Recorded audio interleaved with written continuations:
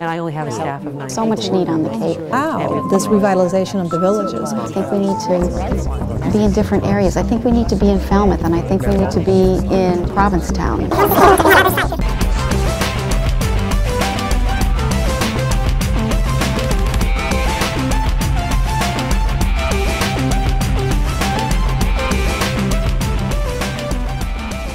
Funding, funding. Did I say funding? And obviously money.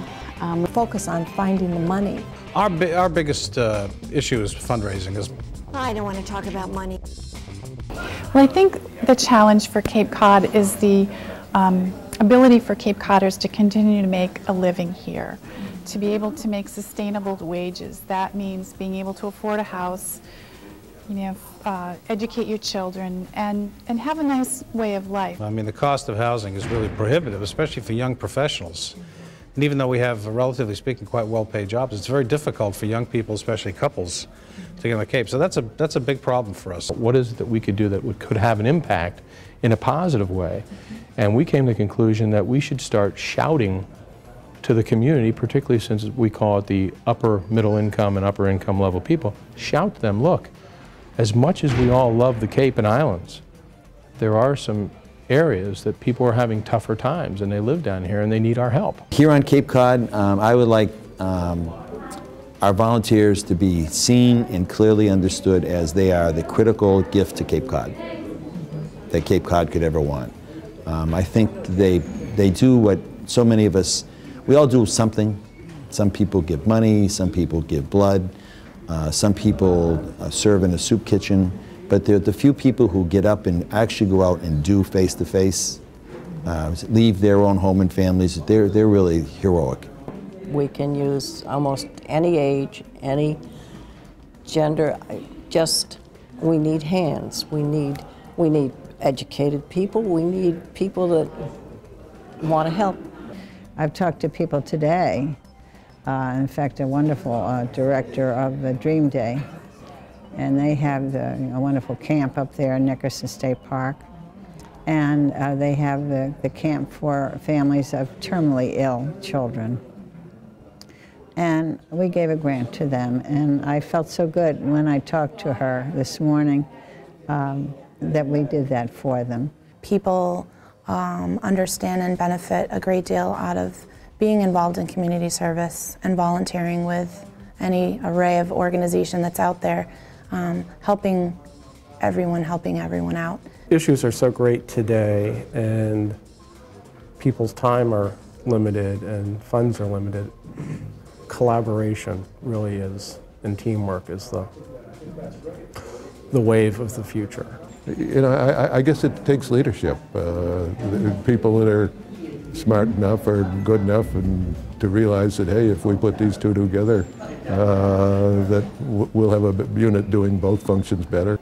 The, what we've noticed in the last 10 to 15 years is, is a shift to becoming more involved in the community. So we're partnering with businesses and sponsors and really the philosophy of you support us all summer long, we need to support you. So many, we're blessed with so many nonprofits here on the Cape, but by the same token, um, they have more challenges because the usual funding sources are shrinking. The, the foundations uh, around the country uh, are earning less and have less of a corpus to give from.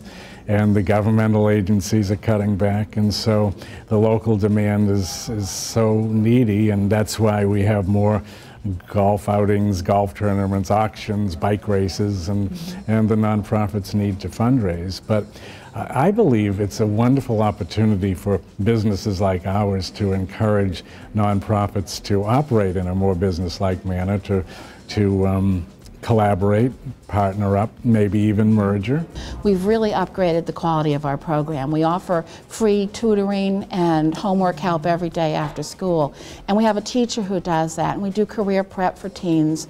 Um, but because our quality of our programs and the enrichment we offer our kids has really increased dramatically over the last three or four years. We're getting more kids after school, which is really important. Our impact has grown. We've, our membership overall grew over 100, 150 this year. And I think that kids just need an extra person in their lives, someone that's not their parent, someone that is not the authority figure per se, but a, a, a, a person with a thoughtful person that they can talk to kind of as a sounding board. And We have a beautiful, pristine environment that we need to keep that way because that's our calling card. That's the reason people want to come here to visit or to retire, and it's the reason people will relocate here, um, make it their home base, but maybe they travel the world for their business. So keeping that environment safe and clean and pure is, is tantamount. I'd love to see a couple of more towns have um, set in place uh, zoning bylaws that would um, better uh, revitalize their downtowns. At the same time, we have got to rezone to protect other areas that are very important. In one year, I would love it if there was a blueprint for the Cape, what we want to protect and where, and what we want to grow and where. If I could wave a magic wand and have one thing changed, it would be to stop putting our wastewater underground. And the Cape, as many people know, but a lot of people don't know, the Cape, most of the, most of the homes and businesses on the Cape depend on septic systems which are right there on their property, underground. They usually work fine. You know it if they don't work.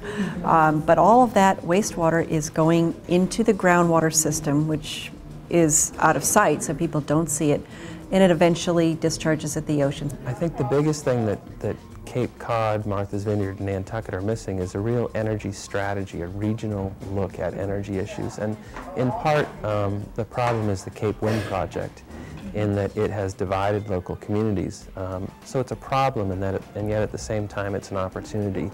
It has also um, brought energy to the forefront of local discussions. because we have the green, the green piece of it, renewable energy, a lot of environmental people that normally would never have cared about what we're doing are really involved.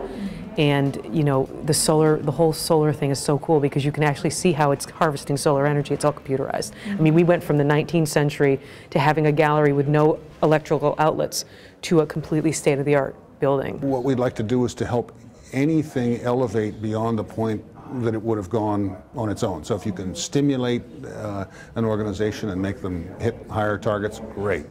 Uh, I think the specific thing is to also constantly examine where are you giving and is it doing is it doing benefit? Oftentimes persons who look upon the Cape and the islands as this wonderful paradise, it is. But we seek to attract the interest of the second homeowners who in Boston, Philadelphia, New York, Atlanta may be very, very generous and very influential in that community about solving human service mm-hmm. needs. Mm-hmm.